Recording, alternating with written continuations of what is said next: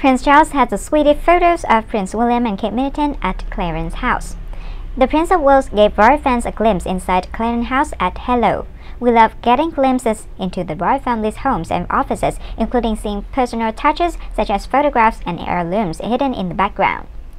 The Prince of Wales welcomed the Iraq Prime Minister Mustafa al-Kadhimi to Clarence House on Thursday and it turns out Charles has an incredibly sweet portrait on display in the morning room at his London residence. The photo of his eldest son, Prince William, on his wedding day to Kate Middleton in April 2011 could be spotted in a black frame on a wooden console table behind the Prime Minister. The official photograph taken in the throne room at Buckingham Palace after the wedding ceremony at Westminster Abbey shows the beaming bride and groom in the center. Surrounded by their young and bridesmaids and page boys, as well as their closest family members, Kate's parents, Carol and Michael Middleton, and her siblings Pippa and James stand behind, beside the newly minted Duchess of Cambridge.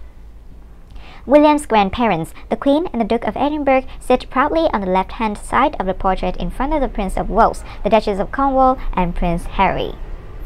The Cambridges celebrated the ninth wedding anniversary in April earlier this year, and in that time, they have become parents to Prince George VII, Princess Charlotte V, and Prince Louis II. Also on displays in Prince Charles's room was an array of ornaments, including two china cockers, an ornate gold, golden clock, a white collection of plates, and crystal candelabra. The lavishly decorated room still contains several of Prince Charles's grandmother, the Queen Mother's personal items, such as her collection of Royal Anchor Chelsea porcelain, paintings, and portraits.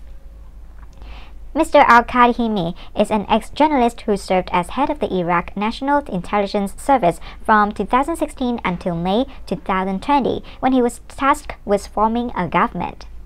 The approval of a new government ended months of deadlock as Iraq battled an economic crisis and the coronavirus pandemic.